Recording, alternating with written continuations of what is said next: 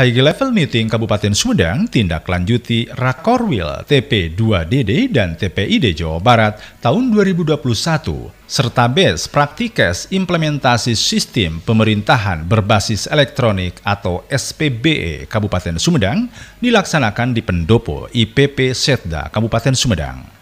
Bupati Sumedang Haji Doni Ahmad Munir mengatakan, Pemda Sumedang telah melakukan high level meeting dengan Bank Indonesia, BJB, dan BPR Sumedang, yaitu untuk menghasilkan keputusan-keputusan rekomendasi untuk pemulihan ekonomi daerah di era pandemi COVID, kemudian pengendalian inflasi. Dan tadi juga disampaikan oleh Bank Indonesia dengan kunci untuk memulihkan ekonomi daerah seperti apa rekomendasinya termasuk dari Bank Jabar tentunya mensupport supaya Sumedang menjadi sebuah percontohan atau role model pemulihan ekonomi melalui transformasi digital. Alhamdulillah hari ini Pemda Sumedang telah melaksanakan kegiatan high level meeting dengan eh, Bank Indonesia, Bank Jabar, dan juga dengan Ikatan Sarjana Ekonomi Indonesia.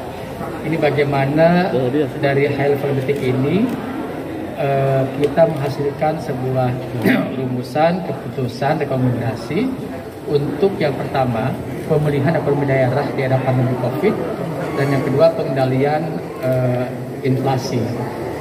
Dan tadi sudah banyak sampaikan pertama dari Bank Indonesia dan dengan kunci-kunci untuk memulihkan ekonomi daerah.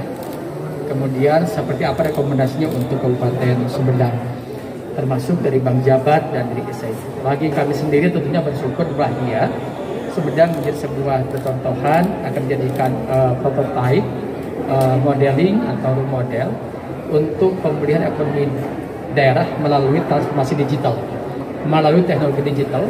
Karena dengan hal seperti ini akan rakyat tetap produktif, ekonomi pulih dan aman dari uh, COVID.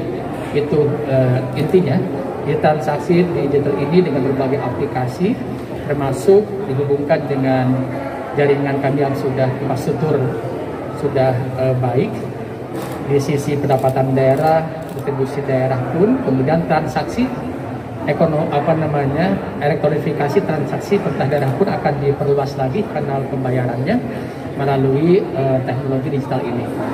Kami kerjasama dengan Bank Indonesia, kemudian dengan Bank Jabar, dengan Bank Jabar dalam co-branding nanti untuk uh, elektronifikasi transaksi juga, termasuk ATM dan uh, sebagainya.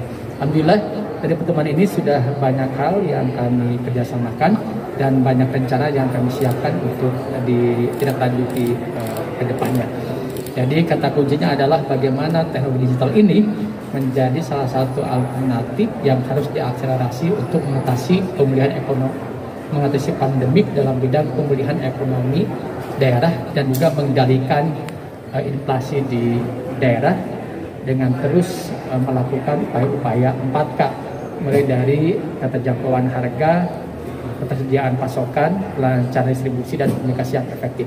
Jadi harus dibikin nanti dalam bentuk aplikasi dalam bentuk uh, digitalisasi. Demikian Abinang Ferry dan Iwan Ingkik melaporkan.